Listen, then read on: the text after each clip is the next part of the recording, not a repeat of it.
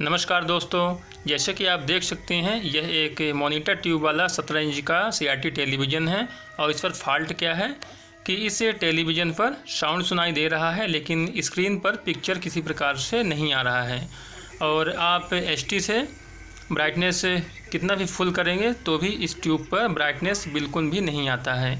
और अक्सर यह जो सत्रह इंच का मोनीटर ट्यूब वाला पिक्चर ट्यूब है और जो पंद्रह जो पंद्रह इंच के ट्यूब आते हैं मोनीटर ट्यूब वाले तो जितने भी मोनीटर ट्यूब वाले आपके सीआरटी टेलीविज़न हैं, उस पर अधिकतर यह फॉल्ट देखने को मिलता है कि आपका फिलामेंट वगैरह जलेगा, आपका किट जो है सही रहेगा, फिर भी ट्यूब पर लाइट नहीं आता है। तो आज मैं इसी फॉल्ट के बारे में आपको जानकारी देने वाला हूँ कि यदि आपका पिक्चर ट्यूब जो है तो ख़राब हो चुका है ब्राइटनेस किसी प्रकार से नहीं आता है तो उसे आप कैसे ठीक कर सकते हैं? दोस्तों, ये जो टेलीविज़न पर फॉल्ट आता है तो जितने भी नए मैकेनिक हैं, उनको इस फॉल्ट के बारे में जानकारी बिल्कुल भी नहीं होता और वह समझ लेते हैं कि पिक्चर ट्यूब ख़राब हो चुका है। लेकिन दोस्तों पिक्चर ट्यूब पर आने वाले इस फॉल्ट को भी आप केवल एक मिनट के अंदर जो है बड़ी आसानी से साथ ठीक कर सकते हैं। उसके लिए आपको किसी प्रकार का कंपोनेंट्स वगैरह चेंज नहीं करना होगा। तो दोस्तों, वीडियो को पूरा कंप्लीट देखें और आपको पूरी जानकारी आज मैं देने वाला हूँ कि आपके पास भी यदि इस प्रकार का फॉल्ट आता है तो आप उसे कैसे दूर करेंगे? तो दोस्तों, आप देख सकते हैं जो CRT बेस लगा हुआ है ट्यूब पर, इस पर एक पॉइंट होता है जीवन का। तो दोस्तों, जो जीवन वाला पॉइंट होता है तो उसे आपको ओपन कर देना है।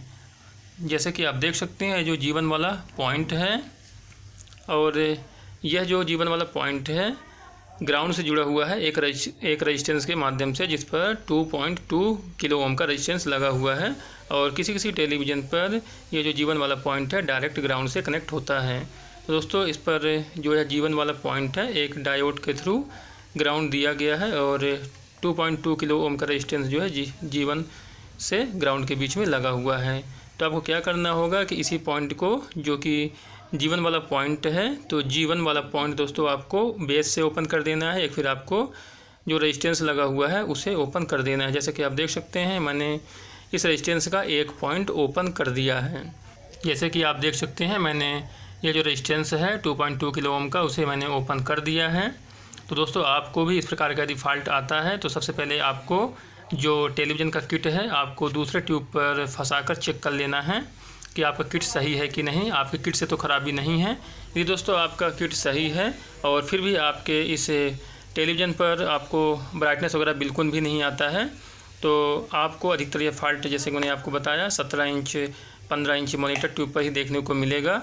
तो आप केवल जीवन वाला जो पॉइंट है, उसे आपको ओपन कर देना है। और ये जो आपके मोनीटर ट्यूब वाले पिक्चर ट्यूब हैं, इसका जो फॉल्ट है कि ब्राइटनेस बिल्कुल भी नहीं आता। तो दोस्तों, आपके टेलीविज़न पर आप देखेंगे कि ब्राइटनेस आना शुरू हो जाएगा। आप देख सकते हैं कि जैसे मैंने जीवन का पॉइंट ओपन किया, इस मॉनिटर ट्यूब पर ब्राइटनेस जो है आ चुका है। और अब मैं एच से भी आपको इस ब्राइटनेस को कम ज़्यादा करके दिखाता हूँ। तो दोस्तों, जैसे ही हम एच से फोकस वाले पॉइंट से उसे कम ज़्यादा करेंगे तो आप देख सकते हैं हमारा ब्राइटनेस जो है तो कम ज़्यादा हो रहा है। और इसके पहले इस पर बिल्कुल भी ब्राइटनेस नहीं आ रहा था।